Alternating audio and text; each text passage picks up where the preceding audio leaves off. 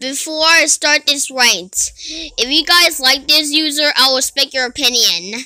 Copa? No, more like Copa with no two P's. And you know who like this user? Bad users. And you know who hate this user?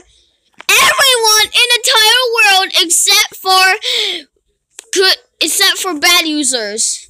And Copa needs to get terminated because he always for no reason. Wait, instead of terminated, Cobra needs to be banned! Banned, Cobra!